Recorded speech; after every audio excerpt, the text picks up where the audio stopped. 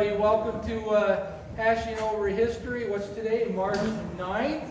Uh, we like to again welcome everyone. We got, uh, like the other weeks, we have a great crowd. So thank you for coming out. Uh, we have a great speaker today. Uh, a lot of people, I believe, already. I'm not even going to say his name yet. Is there anyone in here who does not know who we got today?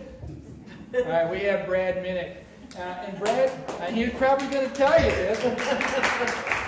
but his, his, mom was a uh, Clayton historian at one time, so a lot of her knowledge was probably talked about in the house, so he might be sharing some things.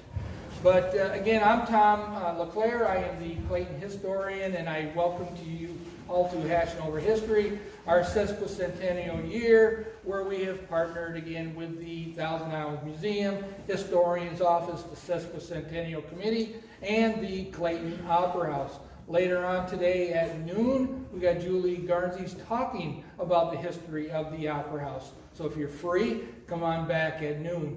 But again, uh, thank you. At this time, Brad, I am going to turn the time over well, to you. Thank, thank you very much, Tom, and good morning, everyone. It's a pleasure to be here.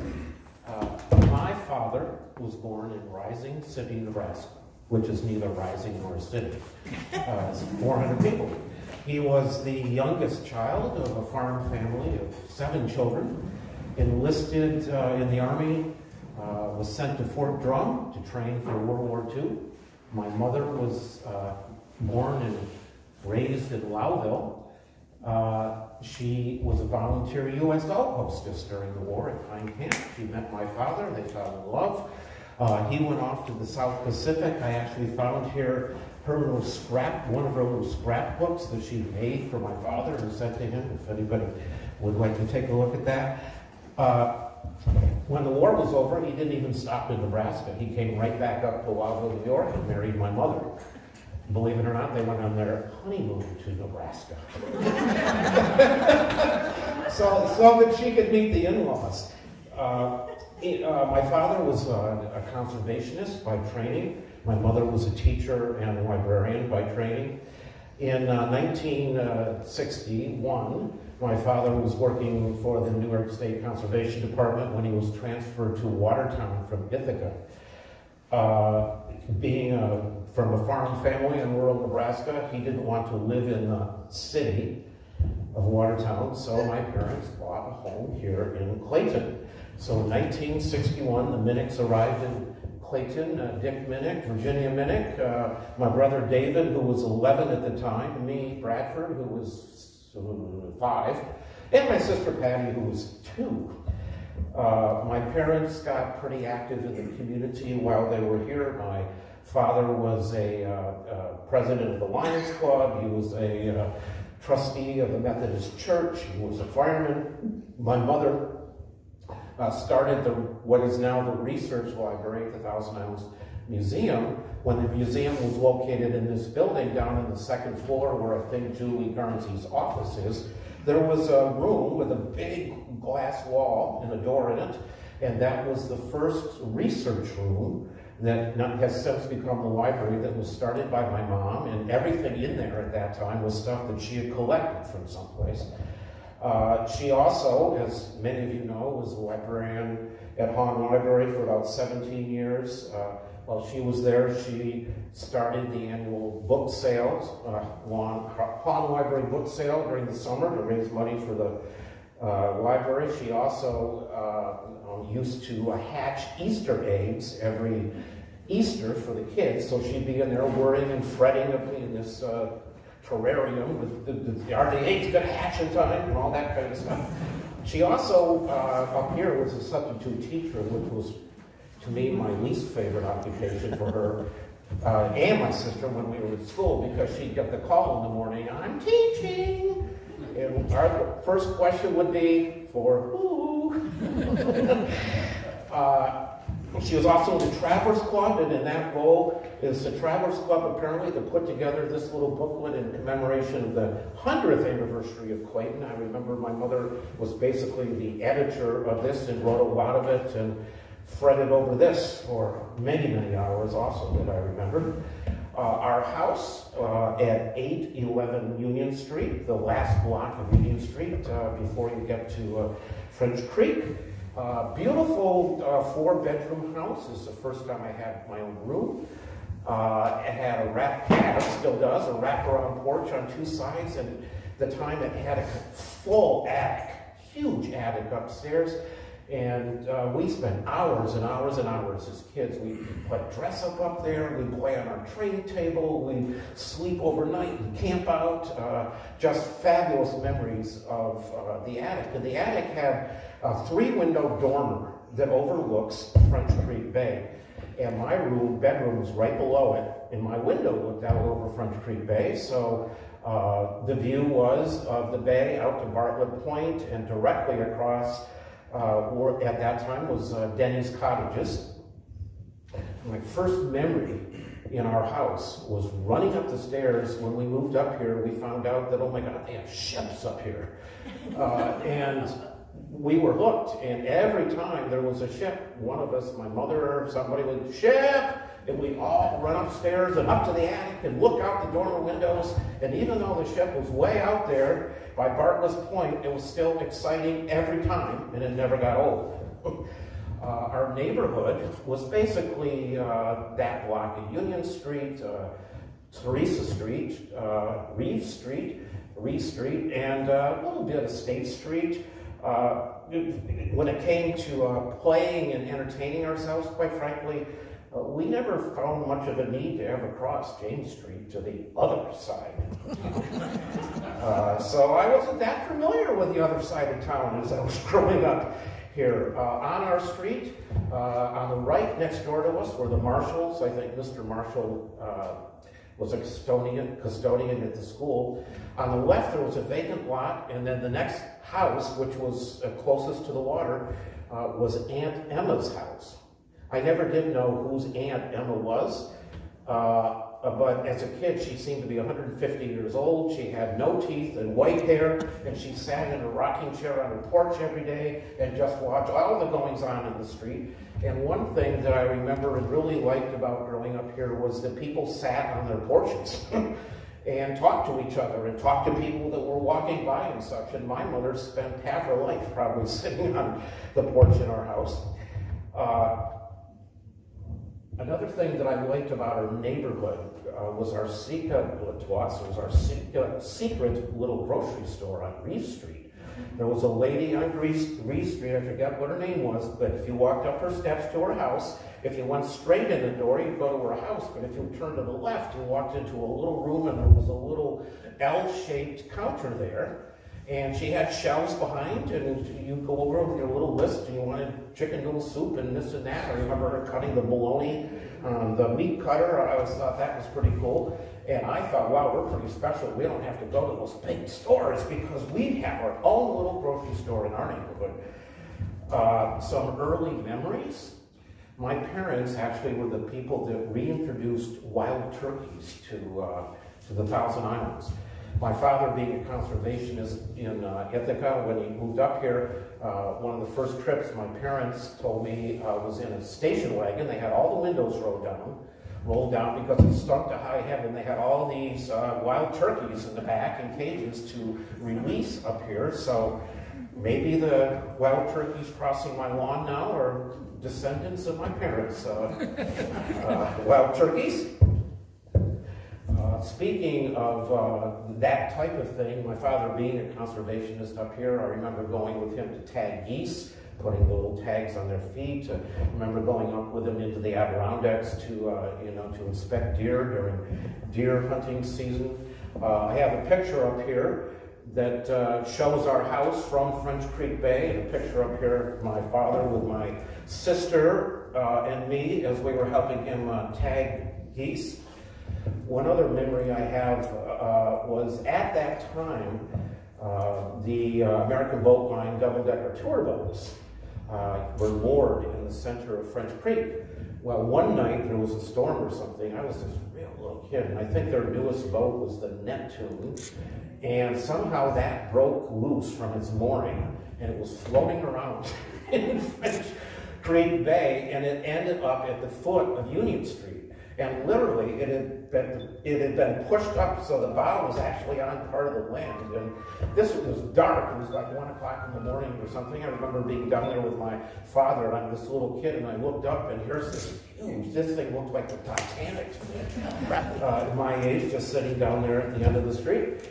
Uh, I remember uh, the fun we had at Halloween here back in the day. Uh, most families made the costumes for their kids. And one year, my parents made this fabulous Indian costume for me. It, uh, made out of burlap sacks, and it was embroidered on the front and the back with an eagle design and such that my mother did, and my father dyed it, and he put the fringe on both arms and all down the legs, and I had a loincloth that was also uh, embroidered. And I think that year I actually won a prize downstairs uh, because we used to come to the Opera House for our um, uh, Halloween festivities and be judged walking around in front of the stage down there.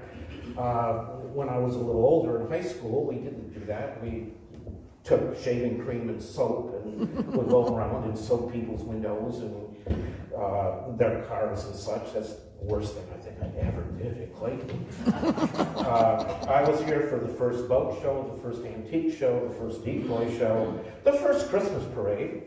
Uh, the Christmas parades were always fun, especially at the beginning because it was so competitive back then. Some of you might remember the churches each had a float, and oh, it was a big secret. You know, where where are they Methodists doing their float, and what are they doing? And you'd find a garage, and you had to get a flatbed truck to be your float and such. And one of the floats I remember one year because I was on it was a uh, and uh, the Methodist church float, which was a big Advent wreath, but rather than the wreath lying flat on the truck with a candle sticking up, the wreath was actually turned on its side, so it stood up. Turns out it was too tall to fit under the underground or the overhead wires. so my father was walking along in front of the float with one of those poles like in the old school that you used to open the windows and holding up the wires so that the uh, float could make it down uh, James Street and Riverside Drive. Uh, we were Methodists. We were uh, Chevy people, not Ford people, which meant we were Finney people, not Kittle people. Uh, we, uh, my doctor was Hetty. My dentist was not uh, Eppolito. I had Dr. Maloney. I can remember uh, Dorothy Painter as mayor. I remember Bob Purcell as, as mayor. Uh, I remember that Bob McEwen was the congressman. And as an interesting aside, he retired in 1980. In 1980, a guy by the name of Bob McEwen, same spelling, ran for Congress from a district in Ohio. Uh, well, Bob McEwen of New York sent Bob McEwen of Ohio always unused bumper stickers, campaign posters, and such. And he used them, and actually, I was hired to be his first press secretary. So there was actually a little story in the paper about the old Bob McEwen and the new Bob McEwen, and how Brad from Clayton worked, worked for the new Bob McEwen. Uh, Doug Barclay, as I mentioned, was the senator, state senator. And uh, just a little aside there, years later, he became, at one point, uh, U.S. ambassador to El Salvador. Uh, at the time, I was running a nonprofit uh, organization in Washington that did international exchanges of young politicians like mayors and city council members, state legislators, and legislators and such. So I took a delegation down to El Salvador when he was ambassador. And I remember our first meeting in, with him in the embassy uh, in his conference room, and he had us go around and introduce ourselves. When I got to me, I said, Well, Ambassador, I'm proud to say that I'm probably the only person in the room that ever had a chance to vote for you. And the very first time I ever voted in an election, I voted for you. And he was thrilled just that somebody knew where the heck it came from. uh, another memory in that regard was uh, um, the firemen's conventions that they used to hold here in the village every so often. And I do collect uh, uh Thousand Islands memorabilia. I found in my uh, collection. Here is a souvenir program for the 18th annual New York State Firemen's Convention held here in Clayton in 1915. And if one looks at the program in here, on the first day at uh, 7.30, there was a band concert, and at 9 p.m., there was a fireman's dance at the opera right downstairs in 1915. One other thing I noticed in going through here, actually, is uh, all the local businesses had ads at the time, including this one for the Herald House, uh, which I was interested to see. Uh, one thing I loved about the firemen's conventions was all the fire trucks uh, being in town and uh, being filling up the motels. I used to ride my bike around town at night. I, I always loved growing up here and the whole tourist side of the Thousand Islands. And I would ride my bike around Clayton every night and check on the motels. Were the no vacancy sign on? Were there cars in the parking lot? You know, there were two little motels uh, on James Street before School Street. There was the St. Lawrence Motor Lodge. There was Merriman uh, on Alexander and, and Union, the Calumet Motel. Uh, one across from the gas station at the stoplight at Gray's, I forget what that one was called. Uh, and I go around almost every night and check and see if they were doing good. And when the conventions came and they were totally filled and different colored fire trucks in each one of them and kind of rowdy. And then all those wonderful uh, contests and such that they did uh, downtown. And actually back here in, in 1915, on the second day, uh, they had a straightaway ho hose race. They had a grease pole over water event. They had a three-legged race. Firemen only could participate in that one. Uh, a ladder race. Uh, and even growing up, they were still doing this type of thing into the 70s at least. Uh, and I think for liability reasons, like many other things, that went away unfortunately, so we don't get to have that kind of fun uh, anymore. Uh, some remembrances from uh, my school days. Uh, I found actually an elementary school yearbook. Some of you might have seen these before. This has my name on it, and uh, my picture's in here on Mrs. Keogh's fifth grade. I don't remember Mrs. Keogh, but um, I was in her fifth grade. Uh, Dr. Forbes was the superintendent. Sam Gardino was the principal and later my uh, wrestling coach. Uh, I could walk to school every day and back, you know, of course uphill both directions, barefoot. Uh, I remember in elementary school that if you got selected to go upstairs, you know, at that time it was kindergarten through sixth grade downstairs, seven through 12 upstairs. Well, if you got asked by your teacher to go upstairs maybe to get something from the library or whatever, the teachers always said, if the bell rings when you're up there, get against the wall. Because all the giants are going to come out. And they're going to be changing classrooms and you don't want to get hurt. Uh, we had study hall on Wednesdays at 2 o'clock in the afternoon so that all the Catholics could go down to their religious instruction. Uh, I also found, uh, I'm a meat potato guy, you couldn't get a bologna sandwich in the public school cafeteria on Fridays because of all the Catholics. Uh, they had fish sandwiches. Uh, I thought growing up that the, every community, the largest church in every community had to be the Catholic Church. It was around here in every community. It wasn't until I got out of Clayton that I discovered that that wasn't true. You know, it's interesting. You, you, wherever you grow up, there's stuff you don't know. You, you haven't learned. I went to school in Washington. My first week, a kid banged on my uh, dorm room door, and I opened the door, and he said, "Hey, would you like to buy a bag of bagels?" And I said, "What's a bagel?" I had no idea what a bagel was at that point. I don't think they probably sold them up here in the store at that point. Uh, I had figured out pretty accurately uh, whether or not we'd have school the next day when it snowed. Uh, and my system was if the snowplow made it down our block of Union Street in the middle of the night, that meant the main roads were done and we'd have school. But if the plow had not made it down our street until maybe very, very, did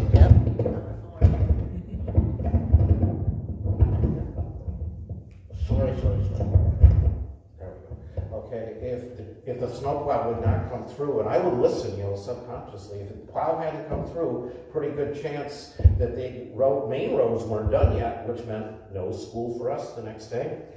Uh, in the late 60s, I can still remember this as a kid. There was this idea to combine the Clayton and Cape Vincent schools together, which required building a new school, which required a bond issue. And my recollection was it took two or three times for the community to actually uh, get the uh, project whittled down to the point where they felt like they could support the bond issue. Well, I remember my father taking me with him to vote on the first bond issue. And he was, uh, the whole way, he was like, you know, this, this thing is like the Cadillac of all schools. They don't need all the stuff they're putting in there. And there's a separate thing on there you have to vote for if you want to have an indoor swimming pool. And why do you need that in the school? You've got the whole river out here. So that's where you can learn to swim. That's where you are learning to swim, he told me. And so I walk into the booth with him and it says, you know, bond issue for the school. He goes, yes. Bond issue for the pool? Yes. so we, we come out and I said, Dad, I thought you like And he said, I want the very best education possible for my kids. uh, so that school opened in 1973. I was a junior, so my junior year, we moved into the school. It hadn't been, it wasn't even finished yet. The auditorium wasn't done, the gym wasn't done, the lockers were barely in. Uh, it was an opportunity to make new friends. We got to vote on, the whole school got to decide what the name of our teams was going to be, and we all, and the winner was Vikings, and I guess they still are. Uh, one of my favorite memories of, of high school, quite frankly, was uh, our music program. The music program, I thought, in Thousand Islands was fabulous. We had a senior band, a senior choir, a junior band, a junior choir, a pep band, uh, we even had a jazz band. Uh, a program started, you know, by, uh, originally by Frank Satchi, uh, and Bob Connor, and later uh, Mr. Davis after Mr. Satchi went to Watertown, and later Steve Warden. Uh, and I loved band. I, I was in the choir. I played baritone horn in the band. Uh, we went to area all-state at that time, and that meant we got out of school that day and we would be rated. And I remember kids from the other schools would come to hear our senior choir sing because we always competed in the highest grade and always got an A with uh, almost always with Bob Connor. Uh, I remember in band, uh, we even had a little pep band that uh, played at the high school football games. We also had uh, uh, the full band actually played at graduation. When the senior class graduated, I remember the band being set up on the floor of the school up here. Uh, and we played, Pomp the Circumstance and such. Uh, the favorite thing for me, however, was uh, the marching band.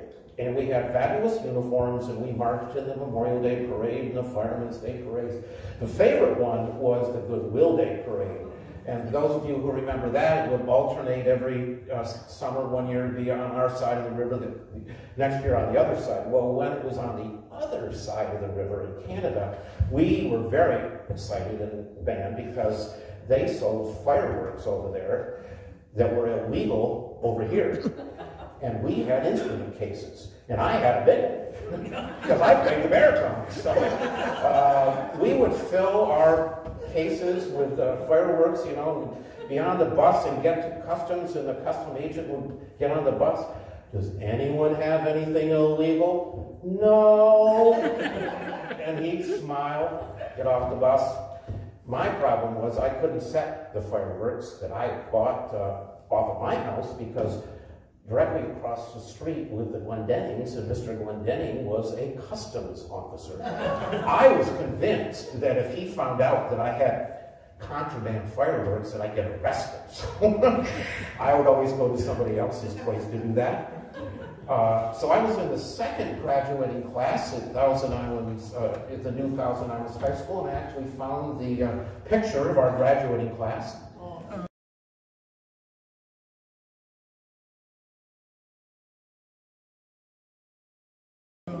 Uh, this was taken at the U.S. Capitol, the first time I was ever in Washington. Uh, I had applied to go to college in Washington, uh, hadn't been accepted yet, as I recall. Uh, and so I was thrilled to be able to, you know, to be in Washington. And I remember uh, standing outside the gates of the White House, the first time I'd ever seen the White House, and I'm looking in there. Uh, no idea that later in my life that I'd be going to meetings there, that I'd actually uh, meet a president of the United States in the Oval Office, that, that I would have the, the, the right to go uh, tour the Christmas decorations uh, during the Christmas season.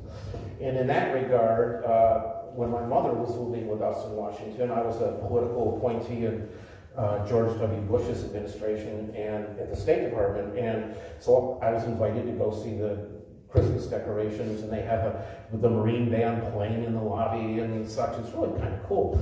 Uh, and so Jamie and I took my mother, and my mother at the time was in a wheelchair. Well, when you come in to tour the Christmas decorations, you start on the east side of the White House where the First Lady's staff is, and you walk down this long colonnade past uh, where the movie theater was, and on the other side was Jackie Kennedy's garden. And when you got to the end of the colonnade, or the corridor, uh, there was a, huge staircase that took you up to the ground, to the state floors, where the East Room was and the state dining room. Well, my mother obviously could not uh, walk up the stairs because she was in this uh, in a wheelchair. So there was a, a, Secret Service agent standing there, and he pointed to me. and He said, "Well, you go up the stairs and and uh, wait in the foyer, and uh, you, to Jamie, come with her, my mother, and I'll take you in the elevator." Teeny, teeny little elevator. I guess Jamie said very hard to even get all three of us in there. Well, apparently the Secret Service agent happened to ask, "Oh, where are you from, ma'am?" Well, my mother, you know, everywhere. Oh, I'm from Clayton Thousand Islands, and she was really disappointed if people didn't know where that was. Well, it turned out that this Secret Service agent knew exactly where it was because he was from Hammond. So I'm up there in the foyer on the state floor waiting. Where are they? Where are they? Well, once he found that out, they didn't come up to the state floor. They went back down to the basement. He wheeled her down to see the burn marks from the 1812 war and, and, Nick, and Nixon's uh, bowling alley. And I'm up there, where are these? Where are they? Uh, it, it just, that, that, was a hoot. Um, I was in uh, Cub Scout and Boy Scouts. I found a picture of us at, uh, I think this was at Camp Portaferry. And uh, here's our Cub Scout pack. My mother was a den mother. Uh, they had blue and gold dinners, they were called, called and you had a theme for it. Uh, this year, it, it, was a space theme, and my father helped us make these little rockets and this little banner that we put on our part of the table and such. And I think the dinner was actually in the old uh, uh Catholic school, St. Mary's. Uh, because it was a space theme, we actually wrote to John Glenn as a pack. And he wrote back, and here's me holding the letter. And here is the chairman of the board of the Opera House now, Tim Malone, holding the, uh, the autographed picture from John Glenn, my sister in the front here. And over here is the historian's brother, Henry, in our little in our pack here. Uh, my favorite memory from Boy Scouts was to earn one of the merit badges, you had to uh, be able to find your way through some sort of nature trail. Well, my father uh, developed a nature trail for me to follow. He took me down across uh, State Street to what is now Wilbur Wall's property, and at that time it was just one big field, and it went from uh, Theresa Street basically all the way up to the ice cream stand. So my father had done this very elaborate and quite terrific uh, nature trail for me to follow. And lo and behold, where did it end up? But at the ice cream stand. uh, when it came to jobs, uh, I had some jobs here growing up. I was a paper boy. Uh, my uh, route included, it went from O'Brien's all the way down uh, Riverside Drive and all the way around Riverside Drive over to Mercer's, uh, where Gil Mercer got the paper. I also uh, included on the route was the Hubbard House at that point and uh, the Herald House at that point. I used to deliver papers there. I also worked at Ellis's one summer, uh, which was right next to the boat tours. Once you bought your boat tour ticket, you had to walk through Ellis's to get on the boat because they had a, a staircase in the back that people queued up on. Uh, I was the guy that came in early, early in the morning and mopped the floor, took out the garbage, did all that kind of stuff. Uh, there was a little uh, uh, um, dining room in the back on a porch called, I think it was called the Fishbowl or the Golden Fish or something like that. Anyways, and they had a lunch counter all the way down one side of the of the uh, of Ellis's. It was amazing to me the number of people that would buy their ticket to get on the tour boat. They'd come in and decide to order breakfast, waiting for the boat. They'd be sitting there in this restaurant. This double-decker boat would pull up with the second deck equal to where they were. They go, "Is that our boat?" yes, you know. Oh, hey, hey, hey, hey, gotta go, gotta go. Uh, I spent a couple summers mowing uh, Roosevelt Trailer Park because John Connor, who was in my class, so I was told was allergic to uh, uh, grass. And uh, they didn't have a riding mower at that point, so literally I would hand mow this entire place out there uh, on uh, Route 12E. Uh, the last job I had up here, don't know quite how that came about. I think maybe Gordon Ciro or and or uh, uh, Vince D might have had something to do with it. I was on the rake crew at Thousand Island Park. I was told that it was in the lease of the people of Thousand Island Park that they the entire property got raked once a year. And I was placed on the rake crew, and we raked the entire Thousand Island Park. Well, I was a redhead at the time, and the first day we were raking the big green that goes from the hotel and the ice cream shop down to the uh, down to the pier, and I was so sunburned that by the next day, and I felt like, God, this is only the second day. I'm never going to survive in this job, but somehow I did. Uh, one job that I always wanted but never was able to secure was uh, working on the boat tours. Uh, I wasn't connected enough in the village really to get that job as a kid, and most of those jobs were taken by the faculty at the school anyways, because that's what they did for their summer employment, is hawking boat tours and such. So I never got to do that, unfortunately. Well, I mentioned I used to bike around town, uh, you know, checking on the motels and see how business was doing and such. Uh, I've always loved uh, the Thousand Islands my whole life. I found in my archives, here's a, a uh, drawing that I did. This is dated November 23rd, 1967. It's a gas station on a road with a sign here, Ride the Best, American Boat Line, Clayton, New York, 10 miles. and I also found an essay that I wrote on September 23rd, 1968 from my social studies class called The Thousand Islands. The Thousand Islands is an exciting place to visit. Through the, throughout the Thousand Islands, there are many small towns such as Clayton, Alexandria Bay, Cape Vincent. They are all full of resort hotels, motels, and restaurants. In the Thousand Islands, you might want to take a boat tour or play one of the many golf courses. Then you might want to go fishing or swimming. Just two more things of the many things to do in the Thousand Islands.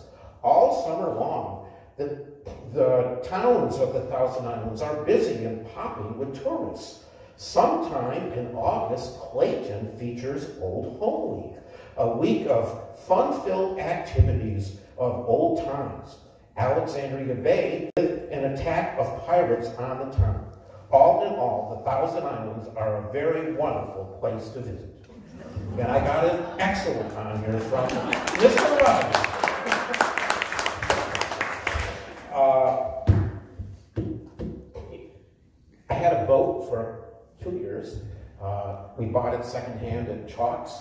Uh, it already had a name. It was the Brown Noser, was called, believe it or not. And I had it uh, two summers. The first summer, after I got it, I used it a little bit, and then I found out I was going abroad as an exchange student.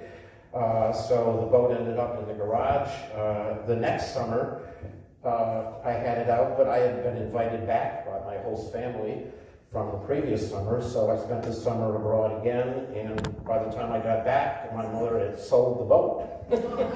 oh, you're never here, Brad. Uh, some defining, three defining moments in growing up here that I, have always uh, remembered. The first was in 1968. Uh, uh, Timmy Pacific's mom mentioned this going out to the 30th anniversary of the, of the opening of the TI Bridge. There was a big, huge uh, ceremony out there at the bridge. my mother had taken me out of school to go to this. And the, the Governor Rockefeller was the speaker. And I still remember uh, him coming in underneath the bridge, from underneath, walking underneath the bridge, and he was waving to everyone and a big smile, and he gave a great uh, little speech, and I just thought it was all so exciting and to see a governor. Our governor, he runs the whole state, and that's one of the things, along with the uh, political uh, campaign uh, storefronts that we used to have downtown during presidential election years. Both parties would have bunting and they have bumper stickers and buttons and American flags and all this stuff. And I think a combination of those two things is what sparked my interest in politics, which led to a significant portion of my uh, political career, or, or, professional career working in domestic politics at uh, federal and state level. So that was the first defining moment for me. The second was a year later in 1969, uh, February 18th, late afternoon, uh, to be specific. Uh, my dad died unexpectedly of a heart attack at the age of 49. Uh, at home, my sister and I were there at the time, and it's one of those memories you will never ever forget. Uh, Pauline Zach, uh, you know, showing up uh, from uh, James Street. How the heck they knew already, I don't know, but she was over there before the ambulance. Anyways, uh, that made me grow up uh, earlier than I probably would have otherwise. Uh, because uh, unlike many families here in Clayton, we weren't related to anybody. my father's relatives were all in Nebraska. My mother's relatives were all gone, and the couple that were left were old and lived in Lowville. So after the funeral and coming back to the house and all the food and everything and four days of all this running around and people, all of a sudden there was, my, my brother had to go back to college. He was a freshman, so there was my mother, her 12-year-old son Brad, and her 9-year-old daughter Patty having to figure it out now. And we did. And the community helped us, and that's one of the things that's always made me appreciative to the village of Clayton. Uh, Mr. Scales on our street, my mother needed a project to occupy her. He came over and they spent hours and days refinishing the staircase in the house. Uh, that's why it looks the way it does now. Uh, the, uh, Mr. Glendenning, the customs officer, helped me with my long division because I didn't have my dad to help me anymore. And they would have us come over uh, for afternoon and dinner every Sunday uh, after my dad died. It was stuff like that that made me think like, you know, this is really a cool place. You know, I could have been lived someplace else. That was definitely a defining moment. The third defining moment was in 1973 when I was a junior in high school and I was selected to be a summer exchange student. Now I think Shirley Carpenter and Vivian Black and maybe a couple other people had something to say about that. Uh, my mother encouraged me to apply. I refused. I said, I'm not captain of the football team. I'm not the most popular guy. I'm not the best musician. You know, why would they pick me? Fill it out, she said. I did, and lo and behold, I got selected. And I was sent to Sweden for a summer. Now, I had never even been to New York City before. And I had to fly to New York City, and we stayed in this big hotel right next to Grand Central Station. And I thought, look at these buildings. I was taking movies of the Pan Am Tower. Oh my God, look at all that thing. I couldn't believe it. I always wondered years later, whatever happened to the Commodore Hotel, because I never heard any more about it. Well, come to find out, it was bought by Donald Trump. And he renovated the hotel and put a modern facade in the whole thing. And that was a very novel thing to do at the time, apparently, and that's one of the things that helped build his reputation as a real estate developer uh, in New York City. So anyways, I went off to spend a summer in 1973 in Sweden. Uh, I was actually placed with a family uh, that had its own island in the Stockholm archipelago on an 80-acre uh, private island. Uh, and it turns out that my host family actually was in the kind of the boat business here. Uh, these are the family postcards. Uh, this is one of the ships that their family built in 1820. This was one of their ships, uh, one of their cargo ships, Brodin Shipping, and they used to actually travel the St. Lawrence River here, so my host father would tell me what the weather was here.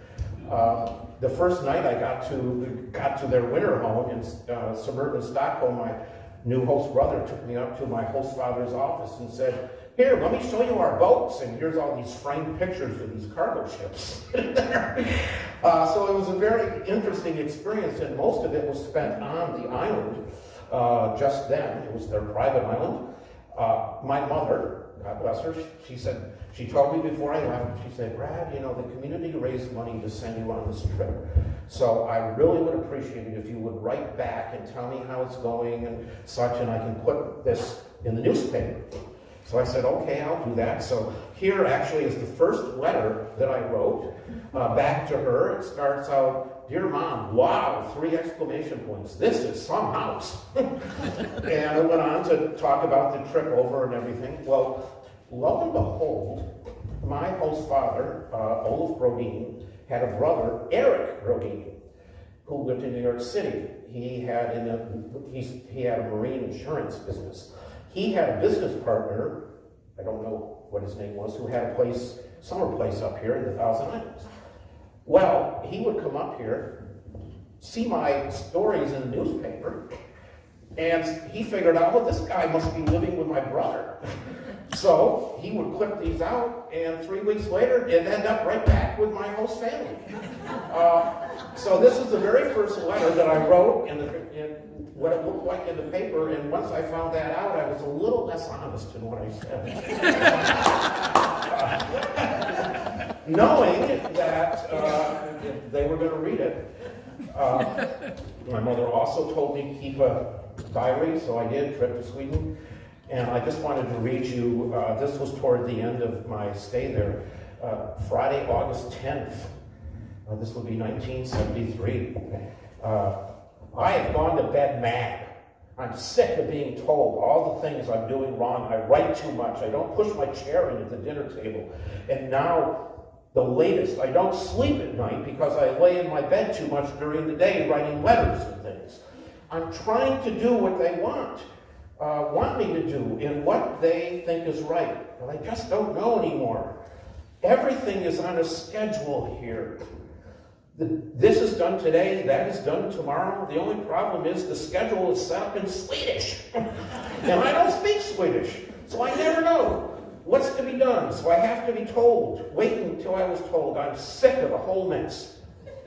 Well, maybe, maybe getting off this damn island will help. I only have a few more days here, which will make four straight weeks since we've been back in Stockholm.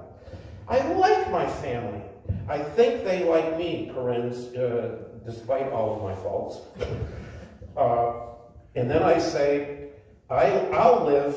I have for almost uh, two months now. I can hold on for two more weeks. God bless me. I know it's good for me. and it was. And that changed my life and, and uh, led to my career in international uh, diplomacy. Uh, I found also in my archives here, uh, one of the things I discovered, courtesy of all the different organizations in Clayton, is that I had some ability to speak publicly. And I learned that and honed that on the circuit in Clayton. After I got back, I found a list. I had spoken 11 times in the community, the Travelers Club, the Lions Club. Here is the article from Ann Ryman and me being at the Lions Club. Uh, interestingly, the only two people in our graduating class who, to my knowledge, went to college outside of New York State were Ann Ryman and myself. Ann had gone on a choir exchange to Russia, and I had gone on an exchange program to Sweden. And I think in both cases that gave us the confidence uh, to actually, you know, think bigger than our immediate surroundings. I know that I certainly did, and I chose to go to American University in Washington, D.C., sight unseen. Uh, so I applied there, got accepted, and went there, as I say, sight unseen, uh, to study uh, political uh, science. Got a great education there as well, and that led to my career in politics uh, before I ended up getting into international relations. Uh, over the course of the years, uh, I have uh, uh, played up and talked up Clayton all over the world as I've had a chance to travel. I tell people how beautiful it is. Uh, I felt like I got a terrific education here. It never set me back one little bit. Uh, there was a real sense of community here in this little town, and I would describe my town, you know, we got a stoplight. We have a stoplight. It turns to caution light at midnight, but we have one. We also have a cop, and if the cars go in the other direction, do whatever you want in the rest of the so, uh, in closing, I, I, would just say uh, I have not a single regret about my father being transferred to the Conservation Department and not wanting to live in the big city of Watertown. Uh, and growing up here in Clayton is, uh, I have so many fond memories that it's been my honor to share some of them with you today. So thank you.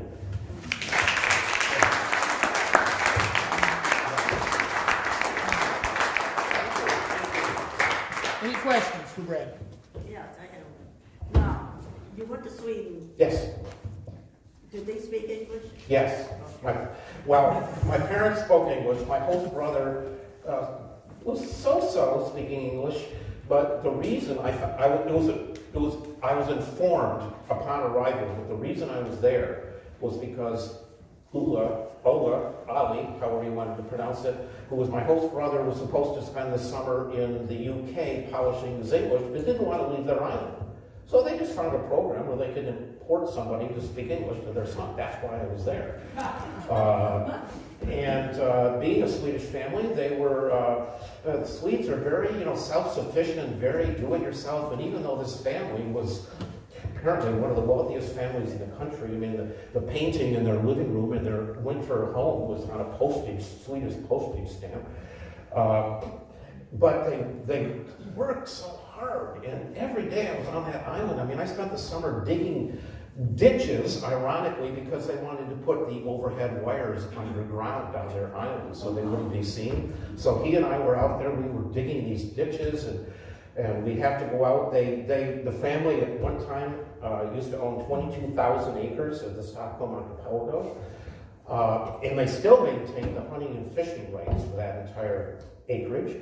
So we go out every night. This was like National Geographic stuff. And put these big nets in the sea and get up the next morning and come up, haul off the nets and pull the fish out. And then we have to clean the fish and clean the nets. And, you know, and then it would be tea time. And then it would be digging time. And, oh my God.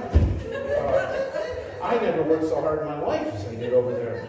Uh, I thought when I left, quite frankly, that, uh, you know, maybe I didn't work out quite so well here because even though they were very lovey-dovey with themselves and their two kids, uh, you know, there were no hugs or kisses with me. It was a shake your hand, thanks for coming type thing. Thought, oh, well, you know, whatever. Uh, then April, the next April, I get this uh, uh, letter from my host mother. Dear summer son, we'd like to have you come spend the summer with us again. And I thought, oh my God, this family never would have invited me back if I hadn't passed their test in some way. So I accepted, uh, went back, and the first week we're on the island, and I'm out there digging, and I thought, like, am I nuts? What am I doing? Another summer doing this. Uh, but on the uh, point about speaking English, one of the most interesting dinners we had was one night out on the island uh, they had the uh, captain of one of their ships um, staying the weekend, and they also had a friend of my host father from Switzerland spending the weekend. So at dinner that night, we're sitting there, and my host parents are speaking Spanish to the captain, German to the uh, to the guy from Switzerland, Swedish to their kids, and English to me. Wow. At one dinner. That was pretty impressive. Anything else?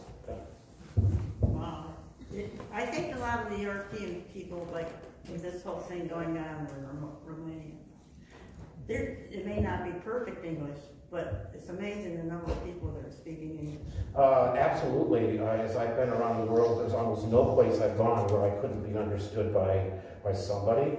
And one of the things that that, that trip did was uh, convince me, that, and I believe this passionately, if every young person could have an opportunity to get out of this country, even if you went to London, uh, the buses are different, the food is a little different, the street lamps look different. You know, it gives you a different perspective and it totally changes your life. Uh, uh, when I was there the second summer, that's when Nixon resigned. And I was in Sweden. I had to get up at 2 o'clock in the morning and turn on a shortwave radio, and I'm going, good evening. and there he was. I'm there at 2 o'clock in the morning, and I'm sitting there thinking, like, this has never happened in my country before. Uh, and the next day, I remember saying to my host brother, you know what? Uh, our president just changed, and nobody shot anybody, and there wasn't any kind of coup or anything. I mean, that's pretty cool. So it was a very memorable thing, and I spent, uh, I have spent a lot of my professional career in international uh, diplomacy uh, and had the honor, quite frankly, of running the largest uh, international exchange program of the U.S. government for up-and-coming professionals from around the world, uh, uh, from 189 countries, and we bring them to the U.S. on tailored programs to their specific professional interests. And about 5,000 people a year. I had a um, $80 million budget and 100 staff, and uh, and one of the only people at the State Department who not only had a international constituency, constituency, bringing all these people to the U.S., but I had a domestic constituency because there were 90 some nonprofit organizations around the country full of volunteers that if it was decided that the visitors should go to their community, they put together the program. So they kind of worked for me too on the outside. So it was one of the best jobs ever.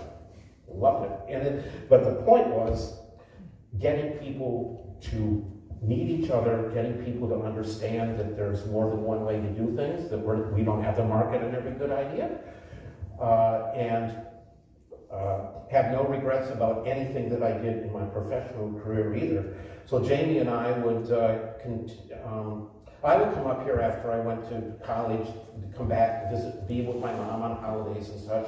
Well, she lived with us her last 10 years in Washington and Boston, and so we would bring her up to the river for a week every summer, and we would rent a cottage at Roosevelt Trailer Park, where I used to mow the lawn. And we'd have her in one cottage, and we'd be in another with a cottage in between.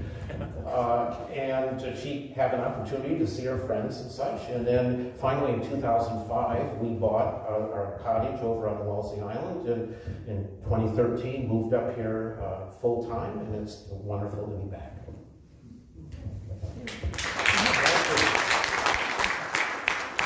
If anybody wants to look at any of this stuff, it's, uh, it's up here. Uh, before we actually close, uh, Brad, I want to point out that uh, Brad and actually Karen, uh, behind the scenes for the sesquicentennial, uh, they've taken the historic walking tour and they've gone through and they've made a lot of updates. But I know that Brad's using his past experience uh, as, as a youth, like we talked about today, the things he learned uh, as a historian uh, with his mom, but also, so there is a new uh, walking historic uh, map. It's uh, going to need to be get printed. Chamber's working on that, but I just wanted to point out that he's on the historical committee and he's doing a lot of great things. But I do have a, uh, sesquicentennial. Well, thank you, sir. Yeah. Appreciate it very much Thank everyone. very captivating uh, uh, speaker. You had my interest right from the well, get-go, and, and, I never looked away. Well, thank you very much. Thank you very much, and, and uh, pleasure to be here.